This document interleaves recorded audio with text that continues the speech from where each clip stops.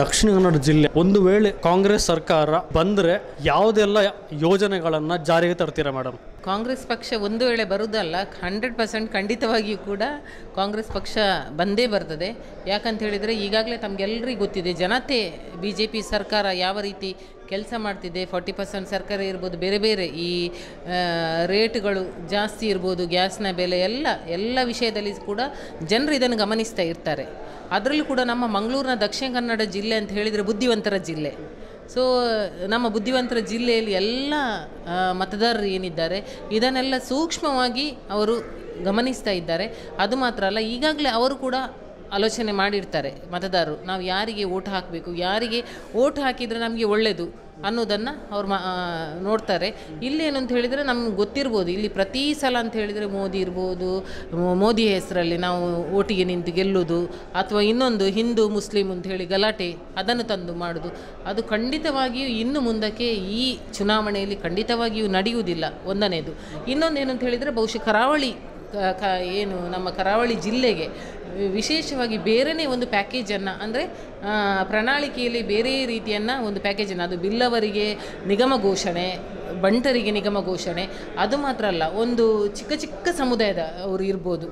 ಈಡಿಗ ಸಾರಿ ಇದು ಯಾವುದು ಬೇರೆ ಬೇರೆ ಚಿಕ್ಕ ಚಿಕ್ಕ ಮೌಲ್ಯ, ಮೊಯ್ಲಿ ಅಥವಾ ಕುಲಾಲ ಸಮಾಜ ಸವಿತ ಸಮಾಜ, ಇಂಥದ್ದೆಲ್ಲ ಬೇರೆ ಬೇರೆ ಚಿಕ್ಕ ಚಿಕ್ಕ ಸಮುದಾಯದವರು ಏನಿದ್ದಾರೆ, ಅವರಿಗೂ ಕೂಡ ಒಂದು ನಾವು ಇವತ್ತು ಅವರನ್ನು ಕೂಡ ಒಂದು ನಿಗಮದ ರೀತಿ ಅವರಿಗೂ ಕೂಡ ನಾವು ಬಜೆಟಲ್ಲಿ ಹಣವನ್ನು ಇಟ್ಟಿದ್ದೇವೆ. ಸೊ ಮೊಗವೀರರಿಗಿರ್ಬೋದು ಬೇರೆ ಬೇರೆ ಯಾವುದ್ಯಾವುದೆಲ್ಲ ಜಿಲ್ಲೆಯಲ್ಲಿ, ಈ ದಕ್ಷಿಣ ಕನ್ನಡ ಜಿಲ್ಲೆಯಲ್ಲಿ ಇದ್ದಾರ ಪ್ರತಿಯೊಂದು ಸಮಾಜದವರಿಗೂ ಕೂಡ ಇವತ್ತು ನಮ್ಮ ಪ್ರಣಾಳಿಕೆಯಲ್ಲಿ ಬೇರೆದೇ ಒಂದು ದಕ್ಷಿಣ ಕನ್ನಡ ಜಿಲ್ಲೆಗೆ ಒಂದು ಸಪರೇಟ್ ಪ್ರಣಾಳಿಕೆಯನ್ನು ನಾವು ಮಾಡಿದ್ದೇವೆ. ಅದು ಮಾತ್ರ ಅಲ್ಲ, ವಿಶೇಷವಾಗಿ ಇವತ್ತು ಏನು ಅಂತ ಹೇಳಿದರೆ ಪ್ರತಿಯೊಂದು ಮನೆಯ ಹೆಣ್ಣು ಮಕ್ಕಳಿಗೆ ಹೆಣ್ಣು ಏನು ಯಜಮಾನಿ ಇದೆಯಾದರೆ ಅವರಿಗೆ ಇವತ್ತು ಎರಡು ಸಾವಿರ ರೂಪಾಯಿ ಕೊಡುವಂಥ ಕೆಲಸ ನಮ್ಮ ಪಕ್ಷ ಬಂದಾಗ ಖಂಡಿತ ಮಾಡ್ತದೆ. ಅದು ಮಾತ್ರ ಅಲ್ಲ, ಇನ್ನೂರು ಯೂನಿಟ್ ಕರೆಂಟ್ ಫ್ರೀಯನ್ನು ಅದು ಮಾತ್ರ ಅಲ್ಲ ಅಕ್ಕಿ, ಹತ್ತು ಕೆ ಜಿ ಅಕ್ಕಿ ಪ್ರತಿಯೊಂದು ಮನೆಯ ಪ್ರತಿಯೊಬ್ಬರಿಗೆ ಕೊಡುವಂಥ ಕೆಲಸ ಮಾಡ್ತಾರೆ ಇದು ಇದೆಲ್ಲ ಮೂರು ಸಹ ವಿಶೇಷವಾಗಿ ಈ ಮೂರು ಏನು ನಮ್ಮದು ಇಲ್ಲಿ ಪ್ರಣಾಳಿಕೆಯಲ್ಲಿ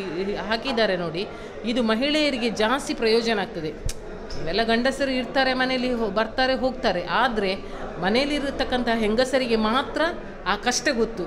ಒಂದು ಕರೆಂಟ್ ಬಿಲ್ ಇಷ್ಟು ಬಂದರೆ ಏನಪ್ಪ, ಹೇಗೆ ದಿನ ತೆಗೆಯುವುದು? ಅಥವಾ ಕ ಇದು ದಿನ ನಿತ್ಯದ ಸಾಮಾನು ಏನು ದಿನಸಿ ಸಾಮಾನಿದೆ, ಅದೆಷ್ಟು ರೇಟ್ ಜಾಸ್ತಿ ಇದೆ, ಅದನ್ನು ಹೇಗೆ ಸರಿದೂಗಿಸ್ಕೊಂಡು ಹೋಗೋದು?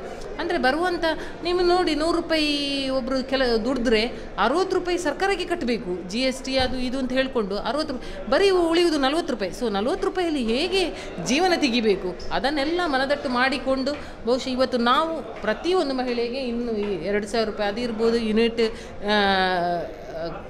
ಇನ್ನೂರು ಯೂನಿಟ್ ಕರೆಂಟ್ ಫ್ರೀ ಇರ್ಬೋದು. ಮತ್ತು ಅಕ್ಕಿ ಇದನ್ನೆಲ್ಲ ಕೊಡು. ಅದರ ಜೊತೆಗೆ ಬೇರೆ ಬೇರೆ ರೀತಿಯಲ್ಲಿ ನಾವು ಕೆಲಸವನ್ನು ಮಾಡುವಂಥ ಕಾರ್ಯಕ್ರಮವನ್ನು ಹಮ್ಮಿಕೊಂಡಿದ್ದೇವೆ.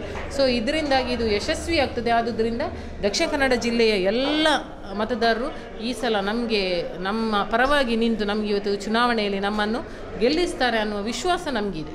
ದಕ್ಷಿಣ ಕನ್ನಡ ಜಿಲ್ಲೆ ಅಥವಾ ಮಂಗಳೂರು ಪ್ರದೇಶದಲ್ಲಿ ಜನರ ಪ್ರತಿಕ್ರಿಯೆ ಹೇಗಿದೆ ಮೇಡಮ್ ಖಂಡಿತವಾಗಿಯೂ ಕಾಂಗ್ರೆಸ್ ಪರವಾಗಿ ಜನರ ಪ್ರತಿಕ್ರಿಯೆ ಅಂತ ಹೇಳಿದರೆ ಪ್ರತಿಯೊಬ್ಬರಿಗೂ ಕೂಡ ಚೆನ್ನಾಗಿದೆ.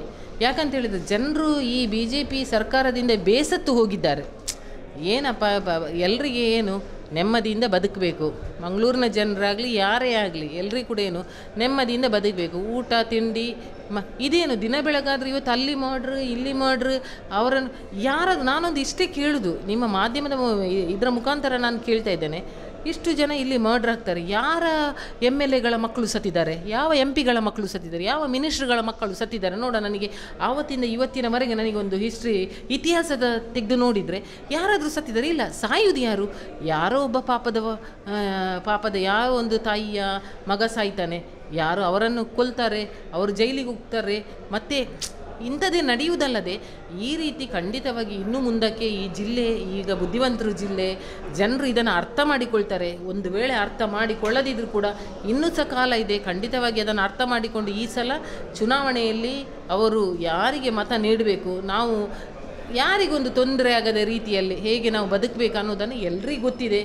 ಸೊ, ಹಾಗಿರುವಾಗ ಅವರು ಒಳ್ಳೆ ಇವತ್ತು ಕಾಂಗ್ರೆಸ್ ಪಕ್ಷಕ್ಕೆ ಖಂಡಿತವಾಗಿಯೂ ಕೂಡ ಆಶೀರ್ವಾದ ಮಾಡ್ತಾರೆ ಅನ್ನೋ ವಿಶ್ವಾಸ ನನಗಿದೆ. Okay.